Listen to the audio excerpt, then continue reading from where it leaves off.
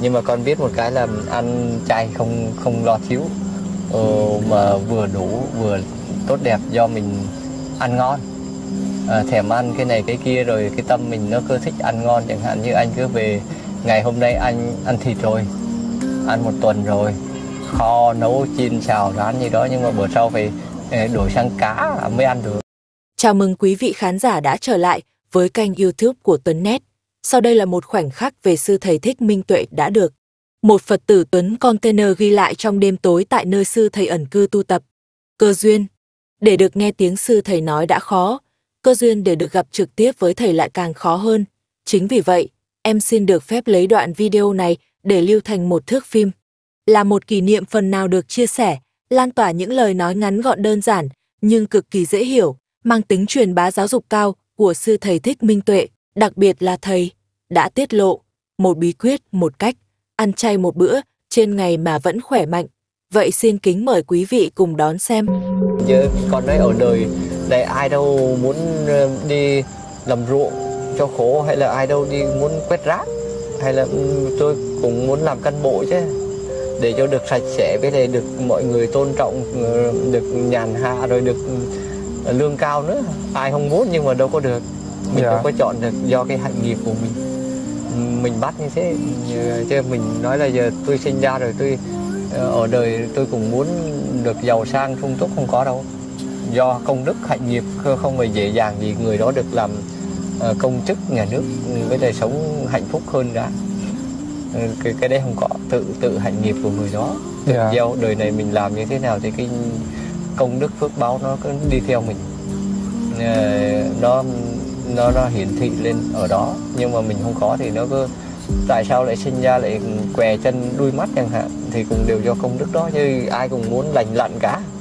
Ai cũng muốn sinh ra ừ, sống lâu thọ cả đẹp đẽ. Có người sinh ra rất là xấu. Dạ. Ờ, tôi cũng muốn đẹp đẽ chứ tôi đâu muốn xấu. Vậy này là cũng do cái ờ, gọi là cái cái tâm của mình. Ờ, cái tâm của mình mà hắn thấy đủ rồi á là hắn vượt qua được á là gọi là thắng cái tâm Ờ, chứ không phải là cái cái thân. Giờ anh nói như khoa học á họ nói là protein hay là cái gì á nghĩa là ờ, cũng như con ngày xưa là học ờ, về bên khoa học mà.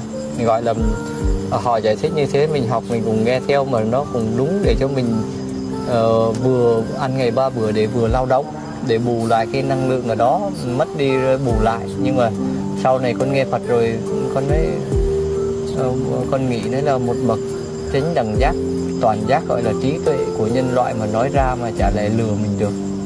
Cũng mình cũng nghi ngờ đấy là ăn như thế này nó không đủ chất.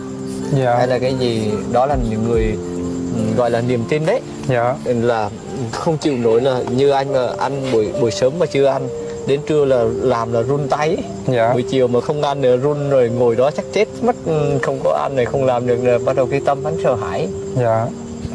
Hắn lo hắn run run rồi bắt đầu hắn mới sợ ờ, hắn mới sanh sanh bệnh.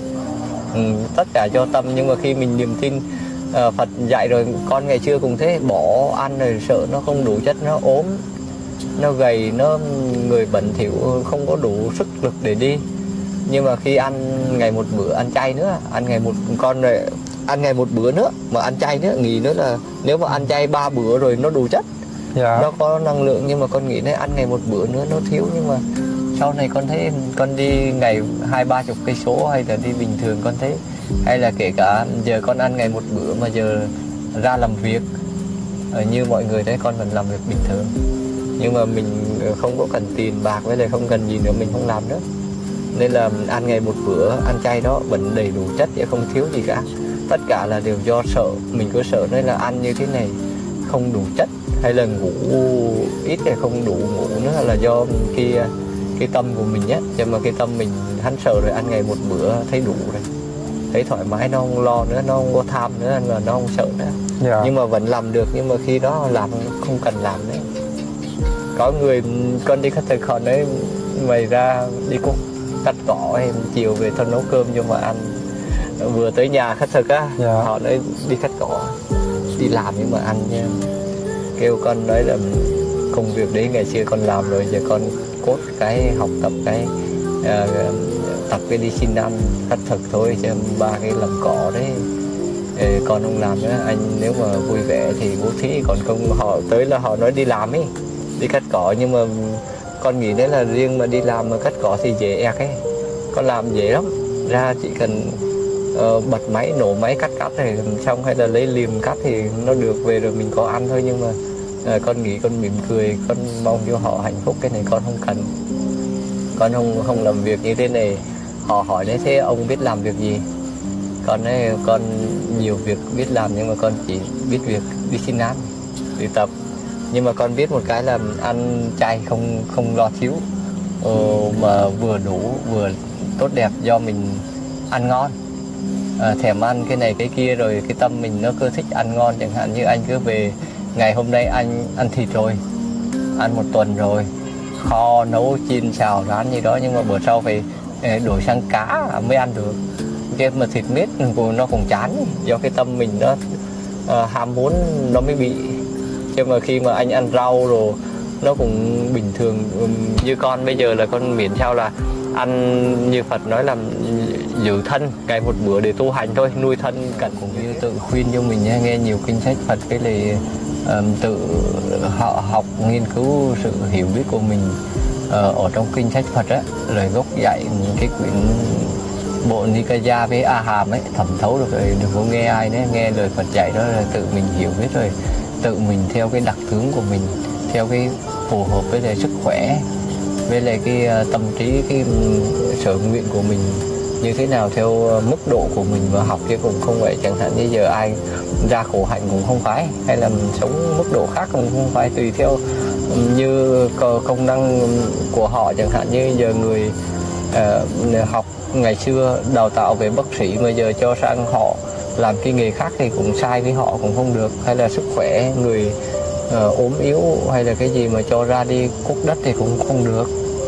Từ phụ thuộc vào sức khỏe của họ với lại ờ, theo cái mức độ làm thiện gọi là sự nguyện uh, niềm tin với sự nguyện vọng của họ họ làm thôi chứ con cũng chịu rồi.